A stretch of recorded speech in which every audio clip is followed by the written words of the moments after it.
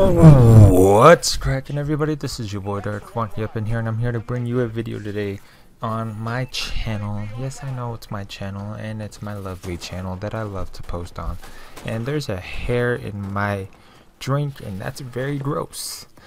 Ew, I need to go get a new drink now. So guys, I'm gonna get to this really quick so you guys can understand what's gonna be going on, what's gonna be coming. I have a video planned right now. I have a video planned that I'm uh, anticipating on making and recording and editing for you guys. And it's been in my head. I started thinking about it at work and how much fun it'd be to replay this game. Yes it's an old game.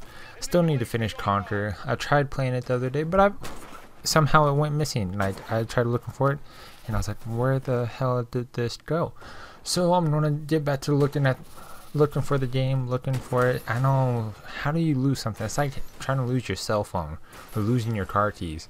Somehow you just lose them. You're like, where the fuck did I put them? Sorry for the cussing, guys. I'm gonna try to kill that and try to dumb it down and just try not to cuss as much because I started thinking about it during AMP's stream one day and I was like, man, I do cuss a lot. And it's really not that attractive to cuss a lot, guys. So you could be a foul mouthed person and you could be the best looking dude ever or the best looking girl ever. But when you cuss it's not attractive. So i'm gonna get into this topic real quick or for a little bit or for a little while. I don't know. It depends on how long i feel like talking about it. I'm gonna tell you guys something real quick. Patience. Be patient with something. Patience will happen. Good things always happen when you are patient no Xbox. I don't care that my friend just game online. And so, guys, just be patient. There's always something that will happen. There's always something good. Good things do happen to good people who wait for it. And for me, I've been trying to register this one car I have for the past couple months, and it's been nothing but a hassle.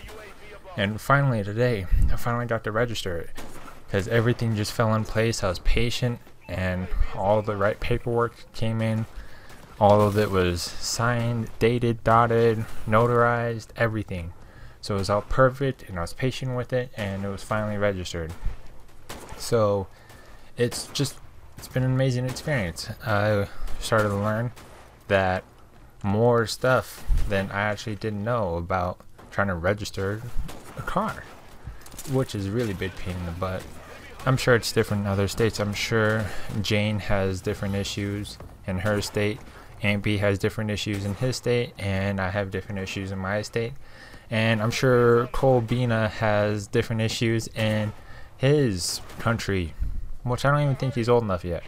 But guys, you gotta understand, there are all these people that have vehicles and you can drive them now these cars, be patient with them, especially in video game life. I'm gonna get to that right now. In the video game life, be patient with things.